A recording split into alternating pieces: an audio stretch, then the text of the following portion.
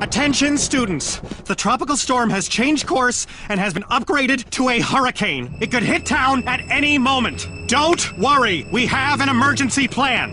It's called talking it through. Now, who here thinks the hurricane was caused by something bad they did? What about you, Nicholas? That thing you told me? In confidence? Say it.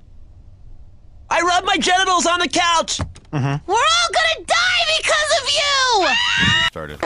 Give me that. Come on. Bob, this is my violations notebook. I just filled it. It took five minutes in your kitchen. Uh, that sounds bad. It's a record. Shut up. Not to mention child labor law violations, public decency violations, Public decency. What are you, what are you talking about? the child molester. I thought this was a family restaurant. Uh, what's the child molester? That's the burger of the day. No, it's not. For a limited time only, till you came back upstairs. Did someone actually order this? Yeah. Who? Him.